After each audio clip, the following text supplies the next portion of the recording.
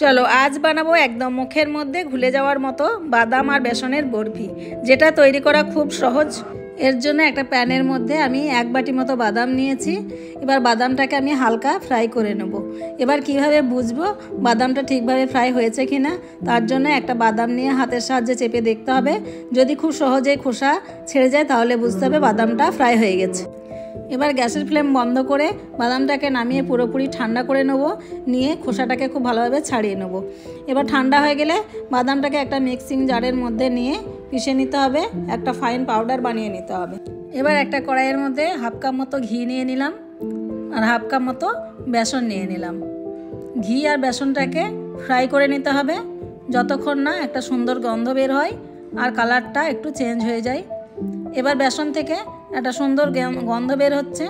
এই সময় বাদামের যে আমি পেস্টটা করে রেখেছিলাম, সেই পেস্টটা এর সঙ্গে ঢেলে দেবো। এবং খুব ভালোভাবে এটাকে আমি মিক্সড করে নেব। আরও দুই থেকে তিন মিনিট মতো এটা আমি জাল দিয়ে নেব। এবার এখানে আমি স্বাদ অনুযায়ী চিনি দিয়ে দেবো। একটা থেতো করা এলাচ দিয়ে দেবো। আর হাফ কাপ মতো দুধ দিয়ে দেবো। এবার দুধ আর চিনিটাকে খুব ভালোভাবে আমি মিক্সড করে নেব। যতক্ষণ না চিনিটা মেল্ট হয়ে যায়, এই সময় গ্যাসের ফ্লেমটাকে লো টু মিডিয়ামে রাখতে হবে। এটা অনেকটাই ঘন হয়ে এসছে। এবার আমি এখানে এক চামচ মতো ঘি দিয়ে দেবো।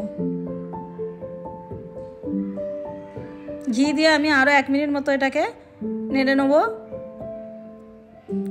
এবার কড়াই থেকে ছেড়ে আসছে, এইটা আমি এটাকে নামিয়ে আমি সাইডে রেখে দেবো।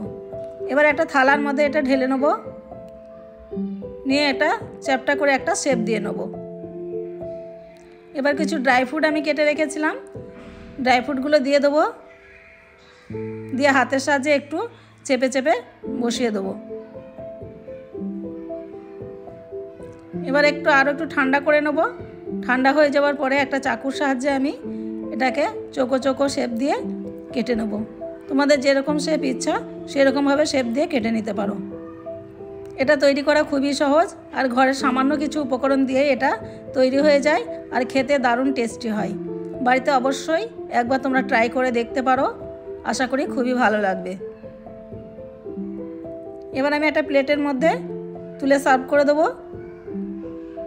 চলো দেখো, এটা দেখতে কত সুন্দর হয়েছে, খেতে আরও সুন্দর এটা। তো আমার আজকের রেসিপিটা কেমন লেগেছে কমেন্টে জানাতে ভুলো না।